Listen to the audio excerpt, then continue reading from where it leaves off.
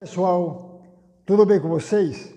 Meus amigos, o que, que vocês pensam quando alguém vem e fala para vocês? Eu estou vivo porque Deus quis. Veja o que aconteceu no dia 12 de abril, na cidadezinha de Virgem Real, interior da Espanha.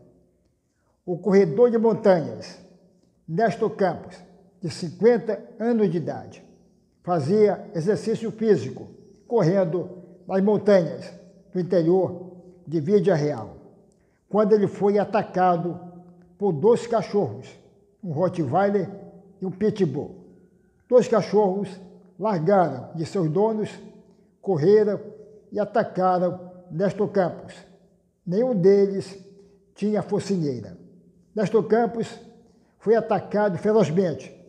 Teve até de fazer um torniquete para poder diminuir as complicações. Hoje, ele foi transferido para o Hospital de Madrid e deu uma entrevista para a Rádio Barca. Na entrevista, ele disse que só está vivo porque Deus quis.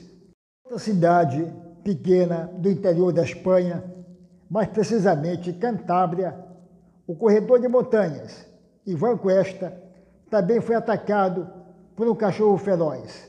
Nesse caso, um pastor alemão, que mordeu-lhe o braço. Seus músculos foram expostos, mas, para sua felicidade, nenhum, nenhum tendão se rompeu. E ele falou a mesma coisa numa entrevista.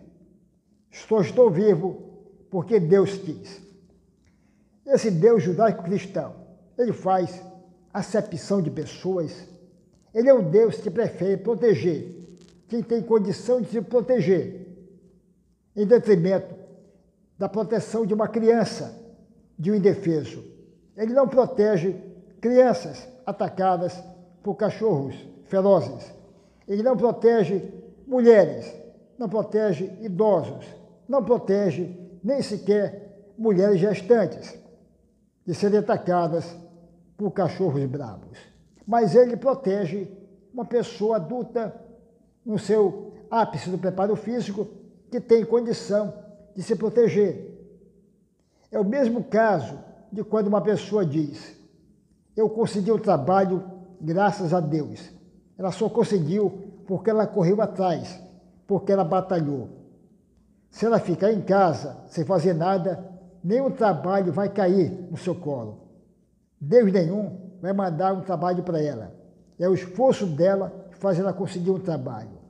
Nesse caso do cachorro, foi a condição física e a experiência do corredor que fez com que ele se salvasse dos ataques dos cachorros. E não Deus nenhum, chegando lá, intervindo e salvando ele desses ataques.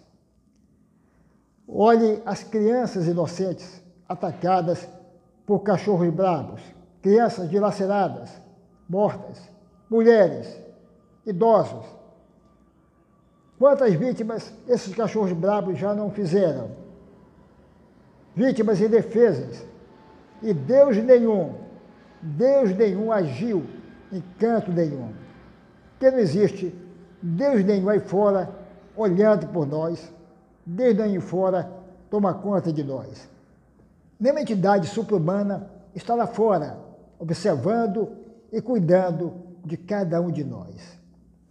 Meu amigo, já falei aqui várias vezes, nem precisa você olhar a ciência. A ciência traz evidências e provas de que nenhum Deus por aí, até o momento, foi encontrado.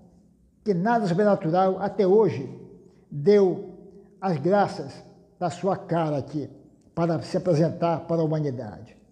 Nenhuma.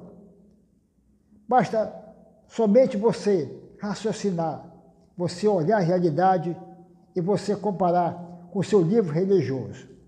Basta somente você ler a sua Bíblia de forma racional, que você vai perceber de que a Bíblia, como qualquer outro livro dito sagrado, religioso, nada mais é do que a transcrição da cultura e das superstições de um certo povo em determinado tempo e espaço de nossa história. Nada mais além do que isso. Portanto, o Deus judaico-cristão é o Deus que faz acepção de pessoas. É o Deus que protege quem tem condição de se proteger. É o Deus que não faz nada, não protege e vira as costas para todos os indefesos, as crianças, as mulheres, as mulheres gestantes e os idosos. Muito obrigado.